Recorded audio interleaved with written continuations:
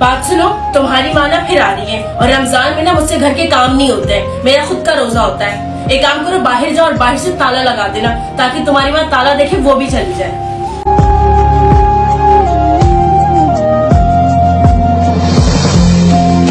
अरे बेटा कहाँ जा रहे हो ताला लगा के?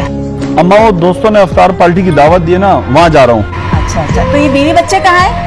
अम्मा वो रमज़ान का पहला रोजा है ना तो उसकी अम्मी अबू ने दावत दिया तो वो वहाँ गई है। अम्मी हम घर पे कुछ है भी नहीं तो मैं आपको रोजा कैसे खुलवा सकूँ? बेटा, मैं यहाँ कुछ खाने पीने के लिए नहीं आई हूँ। मैंने सोचा आज पहला रोजा है ना।